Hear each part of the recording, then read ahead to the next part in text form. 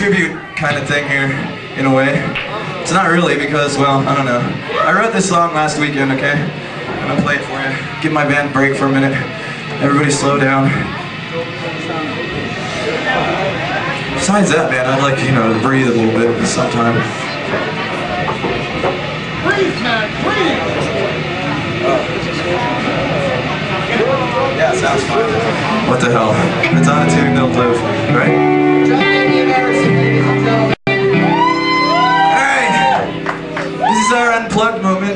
Tribute to MTV's Unplugged. this is a song called I'll Be Damned.